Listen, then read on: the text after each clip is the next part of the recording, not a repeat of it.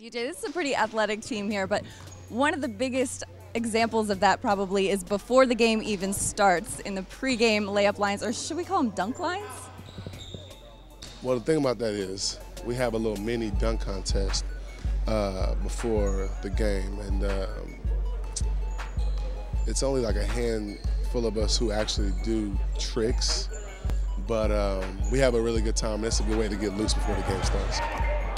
Yeah, we got a pretty athletic team. You know, Blake, DJ, uh, Bledsoe. You know, I try to get a dunk here and there, but uh, layup line is, is really our dunk line. You know, we, we try to get warm and guys get going. Everybody try to get a dunk. So it's pretty fun. We just try to, you know, get it going before before the game starts, get our legs going. You know, so when we do get in that situation, we be already warm. You said it was only a handful of you guys that do tricks, but pretty much everybody has been able to get up there and get a dunk in there. What does that say about even, the older guys? Yeah, even, Caron. Caron. Even Caron. Yeah, which is, yeah, even Caron. Well, that's the amazing thing about the NBA is, is most guys, even though you don't see them dunk a lot, you know, guys can jump and you know they're, they're pretty athletic. So I think it's amazing for fans to see, you know, Chris and you know Jamal and Ron and myself, guys that don't normally dunk that much, uh, have an opportunity to showcase our little little bit of athleticism.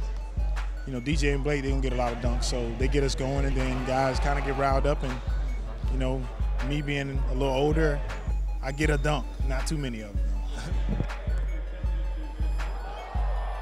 Is there one that you remember being like, wow, I can't believe he just did that? Yeah, Blake, uh, when he went between the legs, uh, that was really like, wow.